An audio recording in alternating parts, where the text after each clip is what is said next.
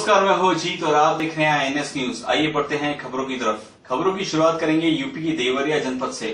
UP की देवरिया जनपद में सामाजिक संगठन एवं पत्रकारों की, के हित की लड़ाई लड़ने वाले पत्रकार संगठन अखिल भारतीय सर्वहितकारी पत्रकार महासंघ का स्थापना दिवस कार्यक्रम बड़ी ही धूमधाम से मनाया गया, जिसमें जिलाध्यक्ष नीलेष तिवारी ने कई पत्रकार बंधुओं का मार्गदर्शन किया एवं पत्रकारों पर हो रहे हमले की निंदा भी की।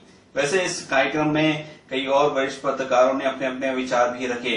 पेश है यूपी के देवरिया से हमें संवाददाता अनवर, इंसारी की एक खास रिपोर्ट। सर्वधिकारी पत्रकार संगठन जो है उसका स्थापना दिवस है।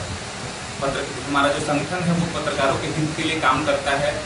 पत्रकारों को संविधानिक चौथा स्तंभ बनाने के लिए प्रयासरत है।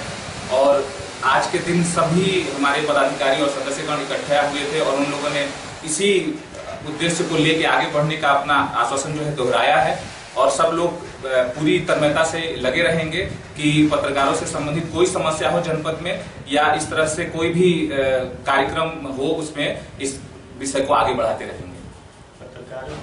आप पत्रकारों के लिए कार्य करेंगे कि मतलब पूरे जनपद के पत्रकारों नहीं उद्देश्य तो हमारा सभी पत्रकारों के लिए है लेकिन प्राथमिकता हमारे संगठन से जुड़े पत्रकारों के लिए पत्रकारों के लिए आपने दो दो काम ज़िले में किया हो उसका नाम